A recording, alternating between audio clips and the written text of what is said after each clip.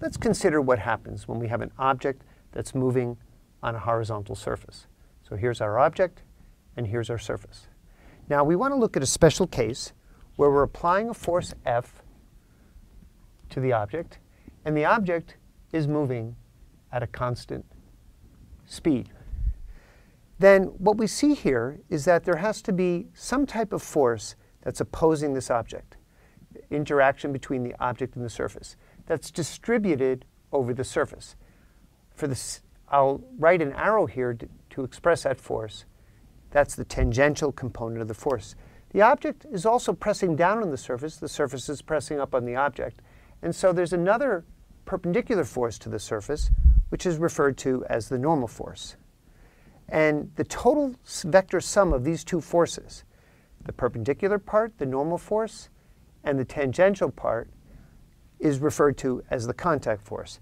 This is what we'll call kinetic friction.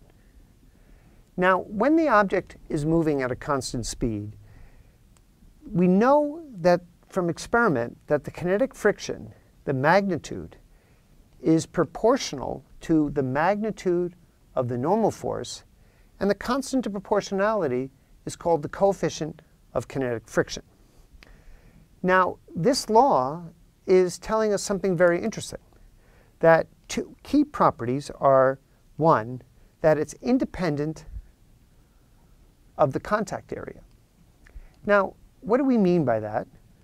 So let's look at the following picture.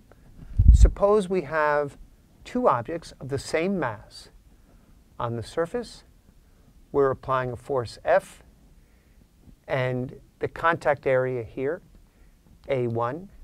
And we have a similar object, the same mass, on the same surface, and both objects are moving at a constant speed.